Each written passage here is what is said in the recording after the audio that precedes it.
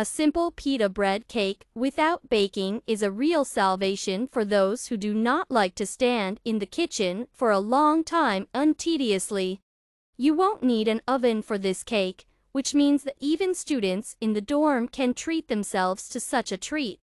A simple pita bread cake without baking is very tasty. Condensed milk is mixed with cottage cheese. Cut the pita bread into rectangles. We lubricate each rectangle of lavash with cream.